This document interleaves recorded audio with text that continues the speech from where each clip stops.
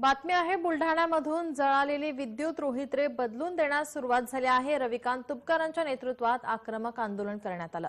या आंदोलनानंतर आता बुलढाणा जिल्ह्यातील महावितरणचे डोके ताळ्यावर आले.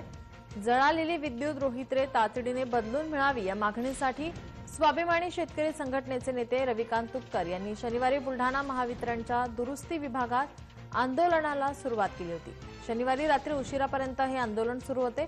यावेळी तुपकरांनी आणि शेतकऱ्यांनी आंदोलनस्थळीच मुक्काम ठोकला होता.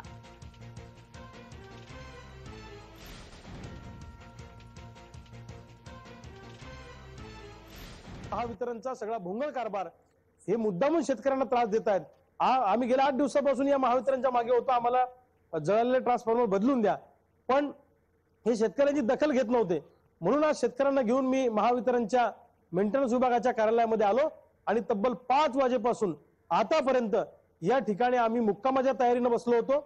आम्ही इथं गाड्या आणल्या इथंच जेवण केले इथंच मुक्कामासाठी आम्ही थांबलो आणि आमचा आक्रमक पवित्रा पाहून महावितरण प्रशासन झुकलं.